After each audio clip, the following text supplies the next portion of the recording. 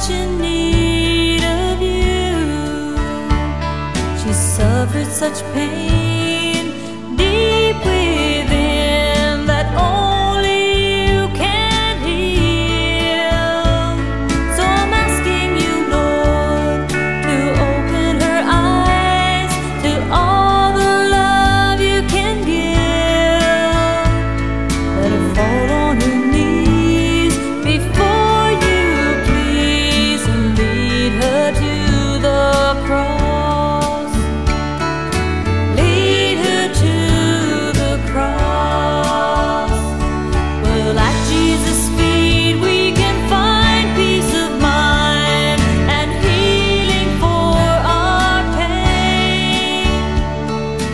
you've got a friend, a friend.